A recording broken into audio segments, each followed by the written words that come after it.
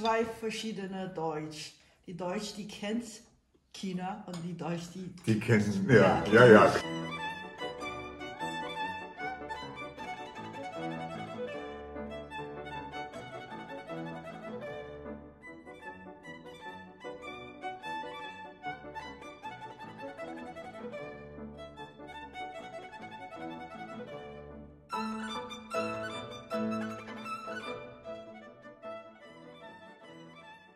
大家好，我是田姐姐。大家好，我是汉娜。欢迎来到田姐姐和汉娜的频道。这不一到过中国新年的时候，我就有很多的德国朋友也会给我发来兔年快乐的新年慰问。那我也会邀请一些我的德国朋友到家里来吃饭。在我的认知里，德国人其实分为两种，他们分别是对中国以及中国文化有或者没有了解的德国人。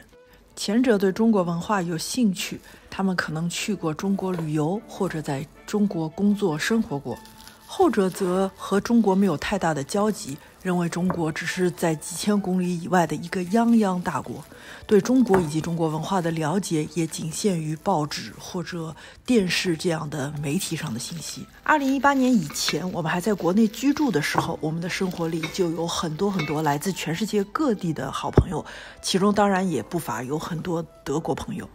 而一八年搬来德国以后，我们在当地也认识了很多新的朋友，其中包括我们的邻居、新同事等等等等。而对于很多这些新朋友来说，我就成了他们想要了解中国或者中国文化的一个非常重要的原因。而我天生就属于那种四海之内皆兄弟型性格。所谓识时务者为俊杰，不不不不，是识时务者为俊杰。但是因为好朋友们对中国美食文化的了解程度不一样。所以我在请好朋友们吃饭的时候，其实对于菜肴是有所选择。对于那些从来没有去过中国，对中国的美食文化仅仅停留在那些由德国的越南人开的亚洲餐厅的德国朋友来说，通常我会选择他们在生活当中经常会使用的食物原材料来烹饪一些比较简单的中国美食。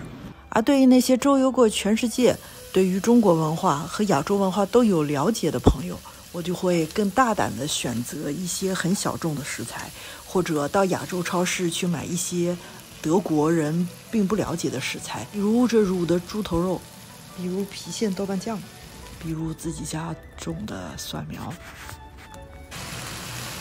其实现在德国生活已经非常多元化了，比如说如果我想吃，我也可以买到从小吃到大的这个雪菜、毛豆炒肉丝的所有食材。纽伦堡起码有一半的本地超市可以买到生的猪舌，甚至于有的时候可以买到牛舌。我在亚洲超市也可以买到从小吃到大的糟卤，所以这道香糟猪舌也是我经常宴请好朋友时候的一道冷菜。但是，这种高境界的菜肴就需要你对你的好朋友有一些浅浅的了解了，因为不管是在哪里，都可能会有你的好朋友并不喜欢吃。动物的内脏。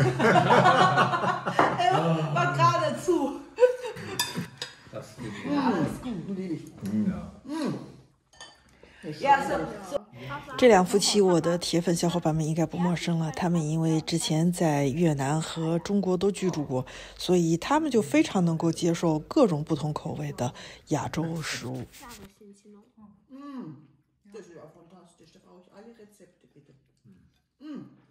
Rezepte sind da drin bei Mama. Im Gegensatz zu den Bauch schmeckt leicht, mm, ne? Das ist gut. Zu den Gemüsen, die es so. Ist aber auch hat eine schöne Schärfe. Mm. Mm. Ja, das ist ja schon scharf. Ja. 而对于汉娜爸爸在帆船俱乐部认识的新朋友，因为我对他们不是很了解，所以我一般烧的菜肴就会更简单和容易接受一些。但是不管我烧什么，我的德国好朋友们总是对我的中华美食抱有了最大的热忱。其实交朋友可能就是这样的，就是彼此对对方抱有兴趣，彼此能够尊重对方的缺点，彼此能够最大限度的呃试图去了解对方。希望今天视频里面出现的那些菜肴也能够对你们平时的烹饪有一些启发。好了，感谢你们的收看，我们下期再见。